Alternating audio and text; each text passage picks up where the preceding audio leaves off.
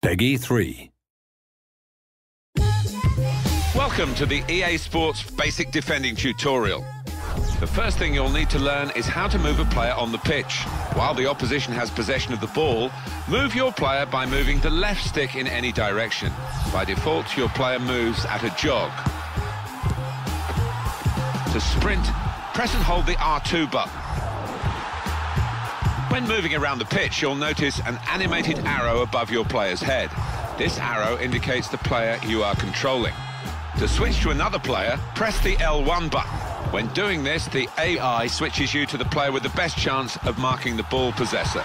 If you want to switch to a specific player, move the right stick in the direction of the player you wish to control.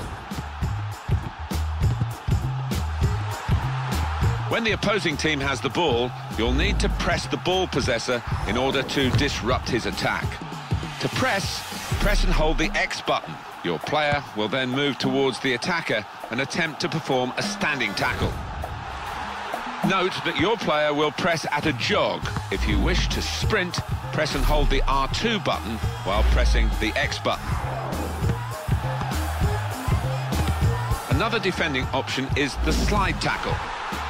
It's best to perform this move when you see a good opportunity to win the ball back, but the opponent is too far away for a standing tackle.